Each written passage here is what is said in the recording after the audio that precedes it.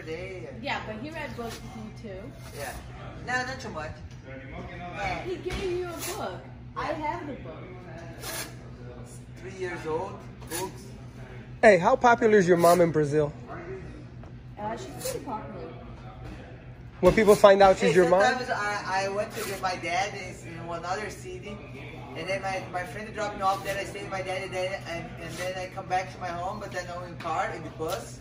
I think it, one year ago, I, I put like this. I go like a Muslim girl to go inside the bus. So people don't rush People you. don't stop. Yeah. Today, it's it, because of what's going on in the world. It's hard to say no to selfies because then people think you're a bad person. Because, but it's he- I think I, I have She some. never says no to selfies. that's what I'm saying. But with Like Corona, never. you don't want people in your personal space. Six feet. Six feet with a selfie stick. Exactly. Okay, let's go. Let's go home. All right, Bye. last thing. Any dates for a fight yet? Anything coming up? I saw Bellator put something. I know Bellator gonna have the first event in July. I think July 24. I don't know.